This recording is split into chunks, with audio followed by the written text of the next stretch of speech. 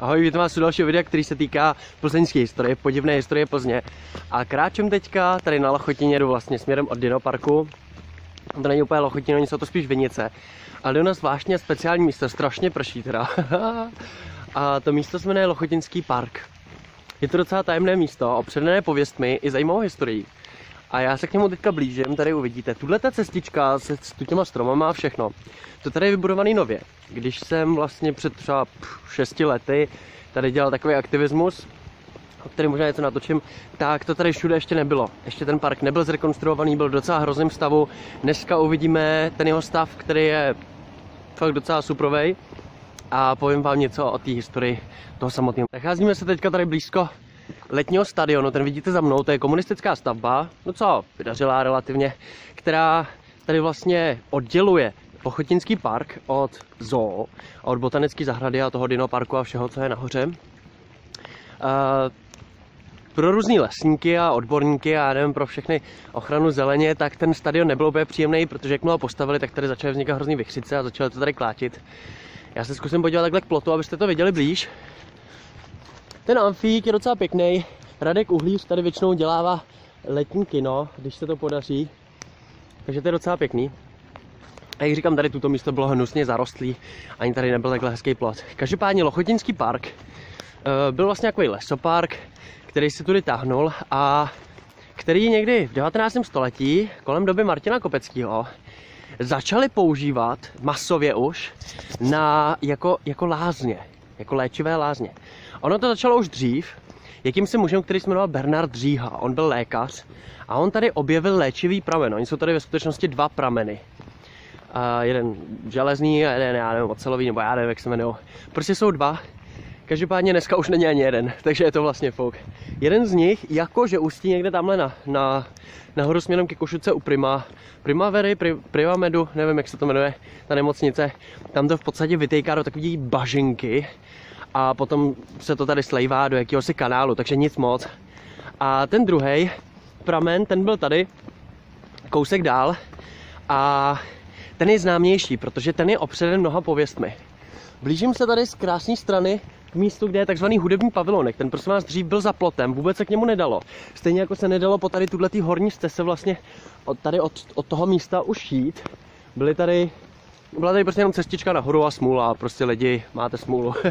I když to vlastně bylo uh, veřejný prostranství. V tomhle pavilonu dřív byly různý koncerty a tak, a docela pěkně se dochoval. Uh, ten lázeňský park, který v podstatě začal tím říhou, který v Lochidinském pavilonku, ke kterému se dostaneme, začal dělat různé rašelinové a jiné koupele, prostě horký koupele a z těch, z těch, eh, z té vody a já nevím co všelicos.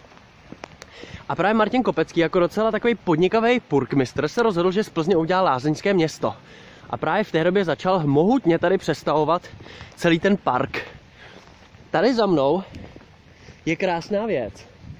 Je to úplně nová atrakce, když to řeknu, v Lochotinském parku.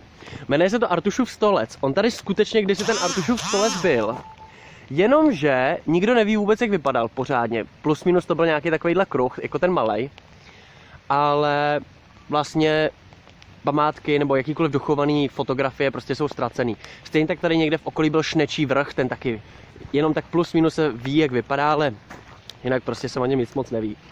To byly všechno možný různý poutní místa, které tady, tady v tom Lochotinském parku byly. Jinak tady za mnou je docela nová stavba Dům pohádek, ten dostává docela tučný občas dotace od MO1 neboli městského obvodu. No, je to taková soukromá školka, nahoře je spoustu různých houpaček, ale jenom pro ty, co si to zaplatí. Takže docela smůla, no. Jinak tedy, tady vlastně se procházíme někde už místy. Ano, tady přibližně v těchto místech dříve stál takový náhrobek, který se jmenoval Studánka u pramené. A právě na tomhle místě se odehrál jeden z nejzajímavějších kousků tady lochodinské historie, ke kterému se dostaneme. On totiž tento lochodinský park a ten léčivý pramen se nedatuje jenom k Bernardu Říhovi, ale mnohem ještě dál. K muži, který byl nazýván poustevníkem. Tento poustevník údajně podle pověstí byl kdysi rytířem Lochotou. Žil na hradě, podle něj se jmenuje Lochotín, vlastně městská část plzeňská. No a tenhle úžasný muž měl prostě hrát, já nevím co, ale měl spoustu konkurentů. A oni jednou dne přepadli ten hrad, vypálili ho a umřela mu tam manželka a syn, i když o tom synovi je to takový nejistý, protože jsou i jiný pověsti. No a ten muž byl prostě utekl nějakou tajnou chodbou a odešel do svaté země, aby prostě bojoval v křižáckých válkách a umřel tam a já nevím co, prostě nechtěl žít.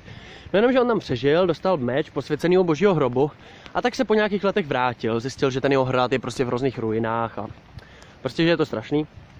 Tak byl docela smutný. No a on si řekl, že prostě musí něco udělat dobrého a tak odešel tady do toho parku Lochotinského paradoxně, kde tedy údajně v té jeskyňce totiž Eh, vedla ta jeho tajná chodba, kterou on kdysi unikl. Dneska už je to jenom jeskyňka, jo? protože byla předělána právě tím Martinem Kopeckým, takže nevíme, kde přesně původně byla ta původní, nebo jestli tam byl nějaký tunel. Každopádně on se rozhodl jít zase na to místo, vlastně, které se týkalo jeho historie. No a tady potkal, právě u toho místa studánka opramene, potkal draka. No jasný, pohádky, pověsti, ale kdo ví, co to bylo skutečně za jakýho ještě Třeba to byl krokodýl jako, jako v Brně, jako tam mají na radnici nevíme. Každopádně tenhle netvor se válil v té, v té studánce. No a ten rytíř Lochota vzal ten meč, usekl mu hlavu a tím tu studánku vlastně osvobodil, protože lidé k ní nemohli, oni nemohli se léčit, protože jí zabral prostě tenhle strašlivý ještěr. No, potom tam zabodnul ten meč, ulomil si z, ze stromu větev a stal se poustevníkem a začal být přítelem ptáků a zvěře tady když umřel, tak údajně se slétali z celé Plzně ptáčcí, kteří ho prostě tady oplakávali, já nevím co všechno. Tenhle ten poustevník tady udělal spoustu dalších zajímavých věcí. Posvěděl ten pramen a kolují o něm i další příběhy. Já je zmíním, až budeme mluvit o kostelíku všech svatých a tak dále. Tady už můžeme jít nahoru a dostaneme se právě, já už jsem úplně mokrej, dostaneme se tady k jeskyňce právě toho zmíněného poustevníka. On je docela úžasný. Je tady takhle krásný sloup, na kterém dřív byla váza s posvátnou tehdy rostlinou aloe vera. Jo, takže docela dávno už přitom.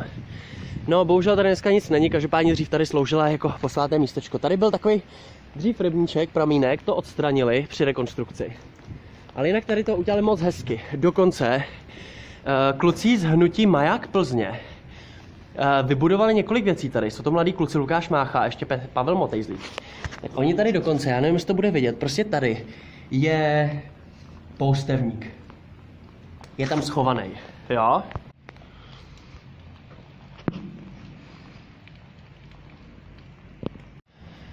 Tak, přímo tady nad jeskynkou, tady udělali teda krásný schody, to musím pochválit.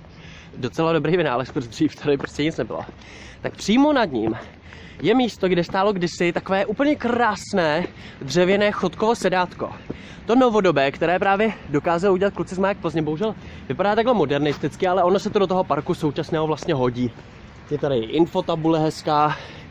No a tady se můžeme takhle odpočinout. Je, tady neprší konečně. A vidíme krásný pohled. Odtud dřív byl tady takový průzor, ona to byla vlastně vyhlídka plzeňská, asi se sem chodili zhulit nějaký lidi tak tady odtud bylo krásně vidět na plzeňskou věž. Bohužel teďka to ještě není ve stavu, aby, aby se tohle tady mohlo taky zrealizovat, protože by se zase muselo vykácet hrozně stromu. A ono je docela zázrak, že se to udělalo už takhle, jak to je. Jo, tady všimněte si, tady všude ty hezké lavičky, tak tady byly hrozný různý křoviska dřív. Prostě nebylo to úplně hezký.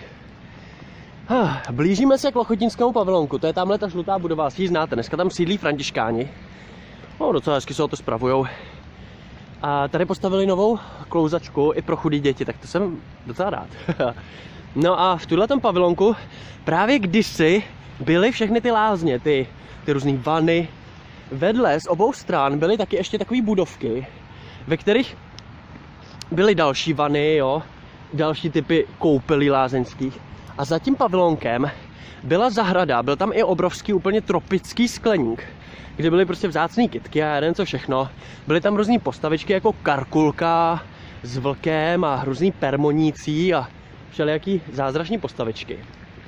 No ale co je úžasnější je, že tady v místech, vlastně mezi lékařskou fakultou, která je tamhle, tamhle, ta budova a tady, tak, uh, tak dřív stál hotel, obrovský hotel, který sloužil právě pro ty lázeňské hosty.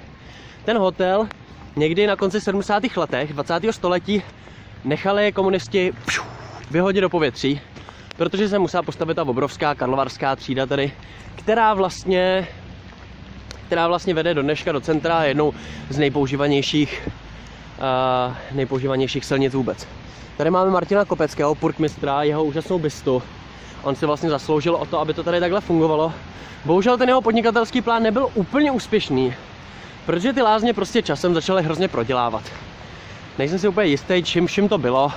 Jestli prostě špatným marketingem, nebo jestli prostě to byl i špatný nápad. Já si myslím, že špatný nápad to určitě nebyl.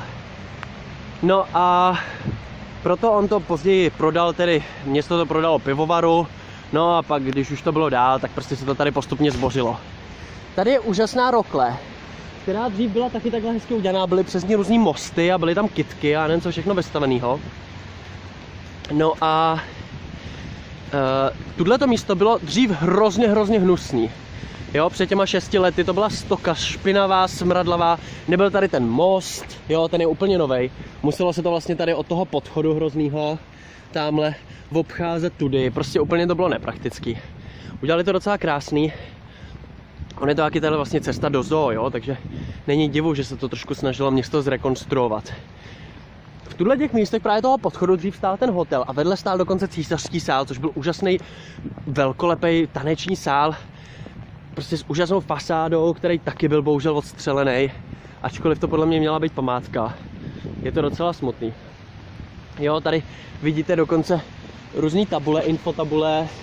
Tady vidíte ten lázeňský dům, jo, tady podívejte, tady je ten pavilonek lochotínský. Tady to dřív byla úžasná budova, která se taky patřila k těm lázním. Bohužel ta byla zbořena, už se nedochovala. No, půjdeme dál touhle cestou stále dřív ten park pokračoval. A tamhle až někde da, ve vzdálenosti, kde je taková budova na keramiku, uh, tak tam dříve na pahorku stál Glorie císařovny Karolíny. Krásná taková stavbička, vypadala v podstatě jako houba, která nemá nohu uprostřed, ale všude okolo. Jo, byla v tom vlastně starým antickém stylu. Bylo to prostě úžasný. Jinak tady mimochodem dolů, kousek, tady stál pomník Josefa Kajetána Tyla, který přesunuli právě během těch rekonstrukcí na Mikulášské náměstí, aby byl blízko hřbitova právě skladatele naší hymny Tyla. Ten Lochytinský park má úžasnou budoucnost, má úžasný příběh. Pověsti, který se tady k němu pojí, ještě rozeberu asi v jiném díle, protože dneska to bude spíš o té, bylo spíš o té historii. Je tady obrovitánská stěna, která je bohužel nevyužitá, mohli by ji používat na nějaký prezentace, sprejeři, já nevím co všechno, no ale takhle město nepřemýšlí, prostě bohužel. No a uvažuje se tady samozřejmě i o vybudování jakési silnice, která by vedla odtud takhle směrem přes ty pole. Proti tomu jsou docela velký protesty, ale uvidíme, jak to celý dopadne. Tak to byla historie Lochotínského parku. Nevím, kdo z vás a kolik z vás vědělo, že tady něco takhle úžasného bylo. Že tady bylo takový obrovský množství staveb.